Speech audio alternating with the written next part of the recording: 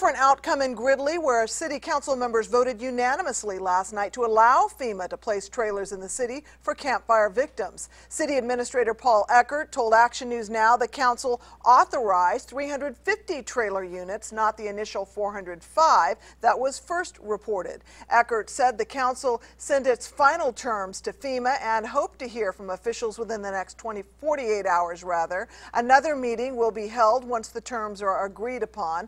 Eckert also said they are asking the Butte County Sheriff and school officials to attend the meeting to discuss how they will help provide additional resources for the area.